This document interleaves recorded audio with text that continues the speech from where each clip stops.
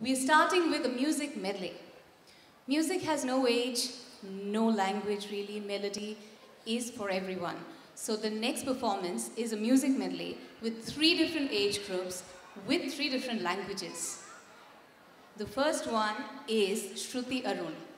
She's a 12-year-old girl. She loves to sing, has been trained in Hindustani classical music, goes to Harrisdale Public School, and Like she that? also likes to self-learn Bollywood songs herself.